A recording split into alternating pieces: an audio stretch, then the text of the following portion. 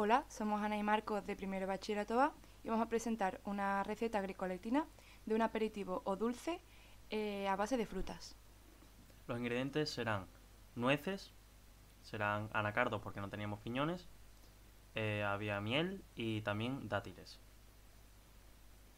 Las cantidades serán media nuez y un piñón por dátil y 4 cucharadas grandes de miel por 24 dátiles.